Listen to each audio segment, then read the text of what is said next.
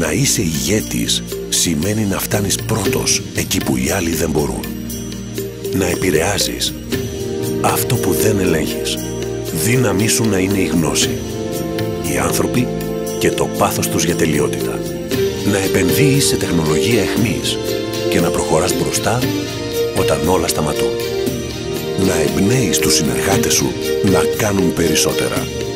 Να είσαι ηγέτης σημαίνει να γνωρίζεις, να ανοίγεις και να δείχνεις το δρόμο. Ελβιάλ. Ελληνική βιομηχανία αλουμινίου.